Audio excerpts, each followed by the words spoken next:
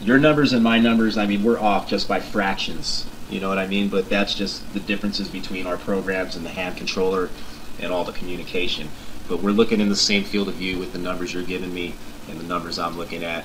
Yeah, we're both in the same spot. Right? Like we just found out they're satellites. Right? It's confirmed that they're satellites. But it was one hell of a ride. It was fun.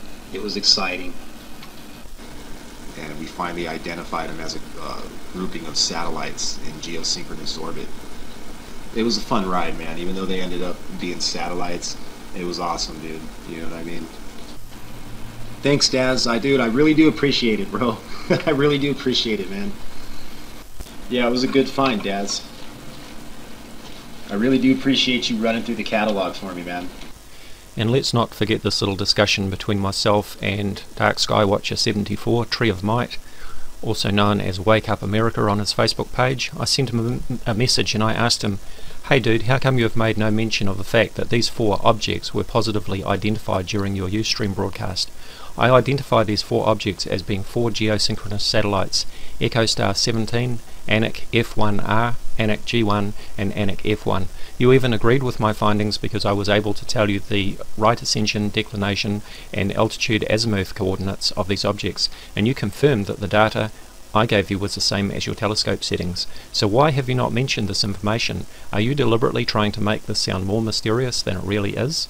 Why are you hiding the truth about the identity of these objects? Why haven't you given the data in the description of your video? By the way, these four objects were not in deep space, as your title suggests. They are in geosynchronous Earth orbit of approximately 37,000 kilometers altitude. And of course, Dark Skywatcher 74, Tree of Might, replied, because it's in the three hour video that we identified them. Would that be the three hour video that has been deleted from Dark Skywatcher's uh, channel? And he goes on to say, I mean, come on, dude, you can't burn people right off the bat with that. You gotta let them take a ride for a little bit and enjoy it. It is in the video that they were identified as satellites, so don't worry, no one is duping anyone. Really. So, if you're a subscriber of Dark Sky Watcher 74, Tree of Might, or Wake Up America on Facebook, do you enjoy being taken for a ride, as he says here? Do you enjoy Dark Skywatcher laughing in your face so that he can talk up his videos and earn more views? Because for Dark Skywatcher, because he's monetized his videos, more views means more money for him. And we know that he's got a PayPal button on his Ustream channel and on his YouTube channel because he wants to buy more gear. So he's laughing in your face and he's laughing all the way to the bank by talking up these videos and making them into things that they're not just so that he can get more views. If I was a subscriber of Dark Sky Watcher 74, Tree of Might, I think I would be rethinking my support of him, knowing that he has lied to me. Alright, take it easy, Daz. Thanks for doing that for me, bro. I really do appreciate that. You're welcome. Anytime, bro. Anytime.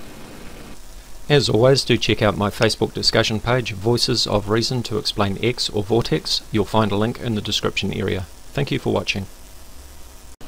Yeah, we're tracking the same objects, bro your numbers and my numbers, I mean, we're off just by fractions. You know what I mean? But that's just the differences between our programs and the hand controller and all the communication.